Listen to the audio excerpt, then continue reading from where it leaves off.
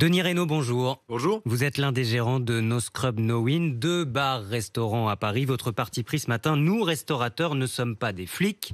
Ce n'est pas notre boulot. Nous parlons de ce projet de loi qui sera présenté lundi en Conseil des ministres sur le pass vaccinal. Et hier, face à Jean-Jacques Bourdin, le ministre de la Santé annonce que cette loi contiendra probablement un contrôle de l'identité en plus du pass sanitaire chez vous. En cas de doute d'ailleurs du restaurateur, le restaurateur pourra demander les papiers au client. Vous ne vous imaginez pas faire ça, Denis Reynaud?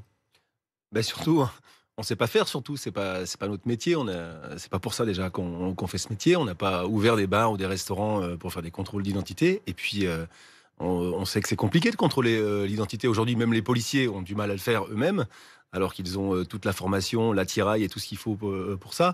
Et nous, on a, on a, on c'est pas notre mandat à l'origine, c'est un mandat de, quelqu'un d'autre. Donc nous déjà, on fait des passes sanitaires pour pouvoir sauver euh, notre activité, mais contrôler. Déjà contrôler le pass sanitaire, c'est difficile.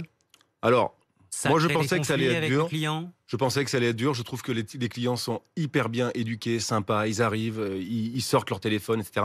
alors pourquoi ce serait pas aussi simple et, facile? Bah, Parce que l'identité, enfin, historiquement, en France, on n'est pas aux États-Unis, nous ici, donc euh, on n'a pas l'habitude de sortir notre carte d'identité. Euh, quand même.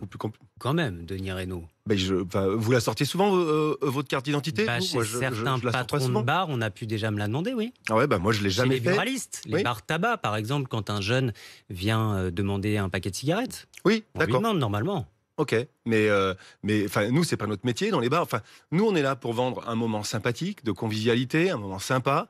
Si le premier truc qu'on fait c'est leur demander leur passe sanitaire et puis après leur demander leur carte d'identité, déjà on se met dans un contexte où il faut déjà que je mette quelqu'un à la porte à la sécurité pour le faire, et ça crée déjà tout un contexte qui est quand même moins convivial. Risque de faire fuir la, clientèle, Denis Reynaud. C'est ce ah que bah, vous craignez. Évidemment que ça fait fuir. Écoutez.